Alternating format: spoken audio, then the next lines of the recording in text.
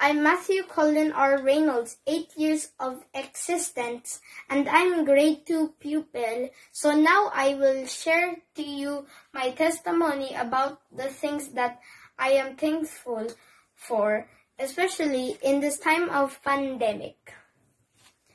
In these difficult times, all we need is hope to survive through this pandemic. I'm very thankful because even though we are in a hard situation, my family are still alive and safe. We had gone too far with our lives, with the freedom we had and in this pandemic.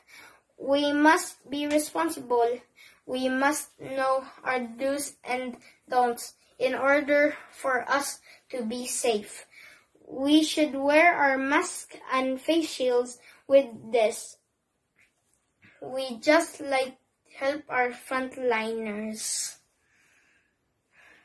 This is a challenge for us, like Jesus Christ. He experienced the full measure of suffering.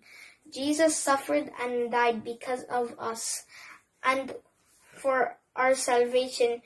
Being on of God's children, I should continue to love and pursue our life with prayer in order to nourish faith and hope.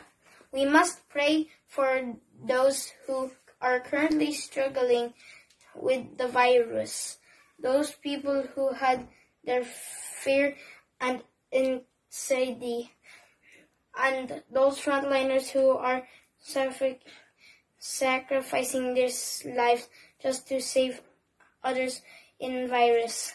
We are hoping and praying to have a vaccine vaccine as as soon as possible so that we can celebrate our Christmas day with our whole family. All will be all right.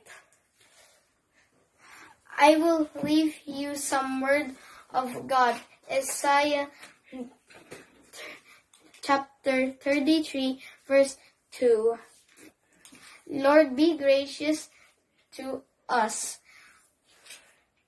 We long for you. Be our strength every morning, our salvation in time of distress.